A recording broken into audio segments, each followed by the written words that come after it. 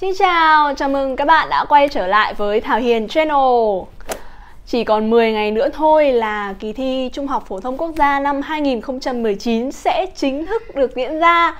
Và ngày hôm nay thì chúng ta hãy cùng ngồi lại với nhau để tâm sự một chút à, Giúp cho các bạn 2K1, những người sẽ trực tiếp bước vào cuộc chiến này Một cuộc chiến phải nói là quan trọng của cuộc đời mỗi người. À, Giúp cho các bạn sẽ có những sự chuẩn bị tốt nhất cho kỳ thi này nhé Chị biết là chỉ còn 10 ngày nữa thôi và có lẽ là các em cũng đã tự nhận thấy được là cái khoảng thời gian còn lại rất ngắn rồi. Thế nên là đến giờ phút này mà bạn nào mà vẫn còn lơ mơ về những kiến thức ấy thì hãy cố gắng lên, hãy tập trung cao độ và hãy quyết tâm học đi. 10 ngày chưa phải là muộn đâu các em ạ. Nếu như mà chúng mình thực sự tập trung và thực sự quyết tâm cho cái kỳ thi này thì tập trung bằng cách nào đó chính là hãy ngồi vào bàn học đừng học ở trên giường nhá bởi vì là ấy, theo kinh nghiệm của chị và có lẽ là của rất là nhiều người là học ở trên giường là sẽ ngủ luôn đấy.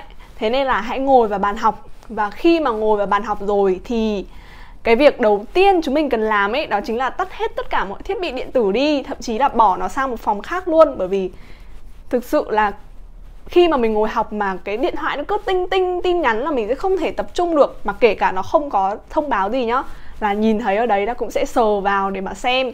Thế cho nên là hãy bỏ nó ra một phòng khác luôn.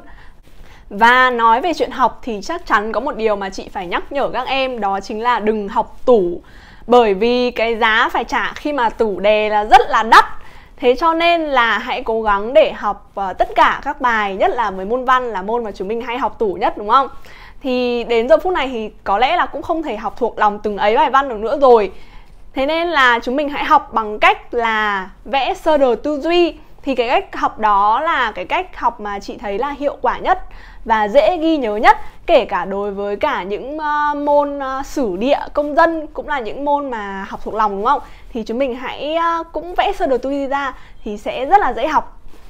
Khi mà chúng mình đã chuẩn bị được đầy đủ kiến thức để sẵn sàng đi thi rồi thì cái việc chuẩn bị tâm lý vững vàng là cái điều quyết định sự thắng hay thua ở trong kỳ thi này.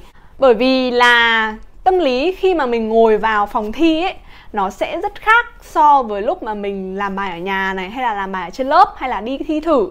Bất kỳ cuộc thi nào cũng thế thôi, lúc mà mình đi thi thật nó sẽ căng thẳng hơn rất là nhiều. Thế cho nên là việc chuẩn bị tâm lý để chúng mình có thể ngồi vào phòng thi và làm bài thật tốt, đó là một điều rất là quan trọng. Bởi vì là khi mà chúng mình bị căng thẳng hay là bị hồi hộp ấy thì rất dễ là kiểu lúc mà trước khi vào phòng thi này hay là lúc mà kể cả lúc nhận đề rồi cầm đề trên tay rồi đọc đề xong rồi tự nhiên mình thấy ô oh, kiến thức của mình bay đâu hết rồi? Đó thì thực ra là cái điều đó là một cái phản ứng tâm lý bình thường thôi. Những cái lúc như vậy ý, thì hãy hít một hơi thật sâu bình tĩnh lại và có thể là uống thêm một hụm nước. Đó thì tất cả kiến thức nó sẽ tự quay trở lại thôi. Và khi mà mình làm bài ấy, thì càng viết nó sẽ càng nhớ. Chuẩn bị kiến thức và chuẩn bị được tâm lý khi thi rồi. Nhưng mà còn một điều rất quan trọng nữa đó chính là chuẩn bị sức khỏe thật tốt. Chắc chắn là chúng ta không ai muốn gặp cái cảnh mà ngồi vào phòng thi xong rồi là mệt quá lạ quá ngất ra đấy luôn đúng không? Chắc chắn là không ai muốn điều đó xảy ra cả. Thế cho nên là chúng mình phải chuẩn bị một sức khỏe thật tốt bằng cách là hãy đi ngủ sớm à, cố gắng là ngủ sớm trước 12 giờ đi. Chị biết là có rất nhiều bạn học thật khuya đến tận 1 2 giờ mới đi ngủ nhưng mà điều đó không tốt một chút nào. Và cộng thêm là kể cả các em thức đến 1 2 giờ học ấy thì cái hiệu quả của việc học tập vào cái khoảng thời gian đó nó cũng không được tốt. Thế cho nên là hãy cố gắng ngủ trước 12 giờ. Và đêm trước hôm thi ấy, thì ngủ sớm mà ngủ trước 10 giờ luôn. Bởi vì là nhiều lúc chúng ta cũng hay bị kiểu chằn chọc ấy. 10 giờ lên giường ngủ nhưng mà cũng 11 12 giờ mới nhắm mắt đi ngủ được. Bên cạnh giấc ngủ thì việc ăn uống sao cho đầy đủ chất dinh dưỡng cũng là một cách để các em uh, có một cái sức khỏe tốt để đi thi. Chị biết là có rất nhiều bạn có cái suy nghĩ kiểu như là ăn trứng thì sẽ bị à, điểm không trứng ngỗng này, xong rồi là ăn xôi đỗ đen thì sẽ bị đen. Nhưng mà thực ra đó chỉ là những cái đánh vào tâm lý của chúng mình thôi, chứ thực ra là ăn uống, ăn trứng hay là ăn xôi đỗ đen thì cũng chẳng làm sao cả vì nó là nạp chất dinh dưỡng vào cho mình, chứ nó đâu có ảnh hưởng gì đến cái việc mà mình thi thố gì đâu. Thế cho nên là hãy cứ thoải mái ăn sao cho đủ chất dinh dưỡng và sao cho cơ thể của mình có đủ sức khỏe để chinh chiến với cuộc thi này nhá. Chuẩn bị được kiến thức rồi này tâm lý vững vàng rồi này và sức khỏe tốt rồi này. Thì tiếp theo chúng mình cần chuẩn bị những gì để vào phòng thi?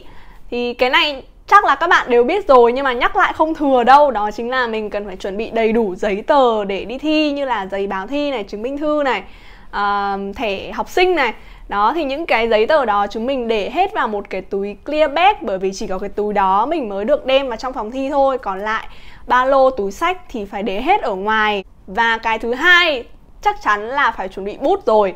Thì uh, bút bi thì chúng mình nên chuẩn bị khoảng 2 đến 3 cái bút. Bởi vì vào trong phòng thi mà tự nhiên tắc mực một cái là không biết xin ở đâu được đâu. Và mấy năm nay thì chúng mình còn làm bài thi trắc nghiệm nữa cho nên là cần phải dùng bút chì và chị khuyên các em là hãy sử dụng bút chì gỗ chứ đừng sử dụng bút chì kim nhá. Bởi vì là khi mà mình sử dụng bút chì kim ý, thì sẽ cần phải thêm một cái hộp ngòi nữa đúng không? Và có cái vấn đề xảy ra là khi mà cái ngòi nó gãy ấy, chúng mình lại phải loay hoay loay hoay để nhét cái ngòi vào. Xong rồi lúc mà nhét mãi nhét mãi không được ấy lại ảnh hưởng đến tâm lý của chúng mình cộng thêm là lại còn mất thời gian nữa. Thế cho nên là hãy chuẩn bị khoảng hai cái bút chì gỗ và gọt thật là đẹp vào cộng thêm cái tẩy nữa để nếu mà mình tô sai thì mình tẩy đi. Việc thứ ba đó chính là chuẩn bị một chai nước. Cái việc mà mình bị căng thẳng ấy xong rồi mình uống nước vào ấy nó rất là hiệu quả luôn và nó còn giúp cho mình suy nghĩ được nhanh hơn nữa ấy, kiểu thế à, cái thứ tư đó chính là một chiếc đồng hồ. Thì rất là cần luôn bởi vì là khi mà mình đeo đồng hồ ấy mình sẽ chủ động được thời gian để mình căn chỉnh sao cho làm bài thật là hợp lý. Chắc chắn là các bạn sẽ không muốn một bài văn mà đầu voi đuôi chuột đúng không? Kiểu mở bài rất là dài rất là văn vẻ xong rồi đến gần cuối hết giờ rồi thế là à, em rất thích bài văn này. Đấy kiểu thế. Cho nên là hãy chuẩn bị một chiếc đồng hồ để mình có thể chủ động về thời gian hơn nhá. Tiếp theo đó chính là khi mà cầm được đề rồi thì hãy đọc thật kỹ đề bởi vì là thực sự là đề bài chỉ cần sai một cái dấu thôi hoặc là thay đổi một con chữ đi thôi nó đã ra một cái kết quả rất là khác rồi.